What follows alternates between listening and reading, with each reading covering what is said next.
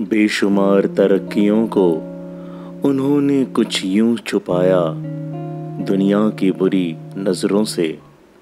उसे ढक दिया कभी लंबी दीवारों से या कभी सफ़ेद चादरों से।